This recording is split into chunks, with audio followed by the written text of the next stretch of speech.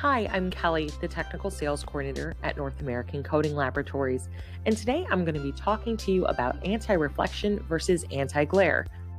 One of the most common questions we get here at NACL is what's the difference between anti reflective and anti glare coatings? Well, it's not exactly a straightforward answer. One works to diffuse light waves, while the other works to eliminate light waves. But first, let's look at anti glare coatings. Anti-glare solutions utilize diffusive properties to fragment the reflected light off the surface. Diffusion works by reducing the consistency of the reflected image, making these undesirable reflected images blurry or fuzzy to the eye. This reduces the reflected image's intrusion of the intended image display. This is also known as constructive interference of light. Constructive interference occurs at any location along the substrate where the two interfering light waves have a displacement in the same direction. So now we understand a little bit about anti glare, but what about anti reflection? Anti reflective solutions diffuse both in internal and external light waves that combine to negate the light transmitted through the substrate. As light passes from one medium, such as air, to another, likely an optical substrate, the difference between the refractive indices in the corresponding mediums create transitional light wave differences, which invariably amplify the amount of light reflected. The reflected light accumulates and can greatly reduce the acuity of the display substrate. This accumulation of light and negated display acuity leads to display information becoming indistinguishable. This method of light interference is referred to as destructive interference of light.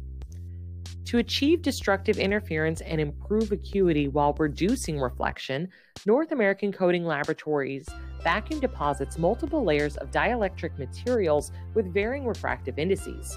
The layers are deposited at varying thickness as well to aid in the interference of numerous light beams. When we are given the operating wavelength, we can design our coatings to offer very low reflectance at optimal light transmission over the specified ranges. This can be accomplished at very finite wavelengths or very broad wavelengths within the visible light spectrum. So, those are the technical differences, but you may still be wondering how these two solutions are different. First, how they look.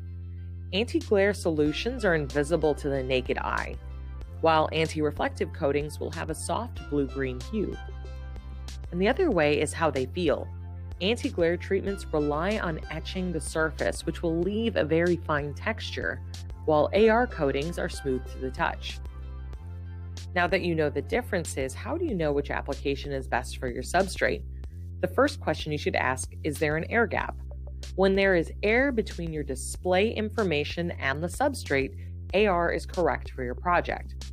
If there is no air gap and no external light concern, then anti glare is ideal but sometimes they can be used together. When a display needs to be used outdoors, anti reflective and anti glare solutions can be used in conjunction. Examples of this include tablets, portable barcode scanners, and cell phones.